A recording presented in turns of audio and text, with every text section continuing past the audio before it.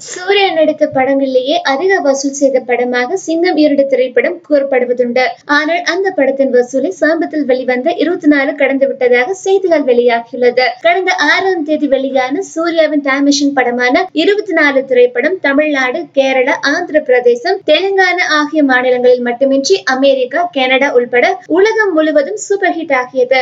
உலகம் முழுவதும் இந்த படத்தின் வசூல் கடந்த இரண்டாயிரத்தி பதிமூணாம் ஆண்டு வெளியான சிங்கம் இரண்டு வசூலை கடந்து விட்டதாக அறிவிக்கப்பட்டுள்ளது. இருபத்தி நாலு திரைப்படம் இருபது நாட்களை கடந்துவிட்ட போதிலும் இன்னும் திரையரங்குகளில் எண்பது சதவீதம் ரசிகர்களுடன் நல்ல வசூல் செய்து வருவதாக செய்திகள் கூறுகின்றன. மேலும் சினிமா செய்திகளை உடனுக்குடன் தெரிந்து கொள்ள கீழே உள்ள சப்ஸ்கிரைப் பட்டனை அழுத்தவும்.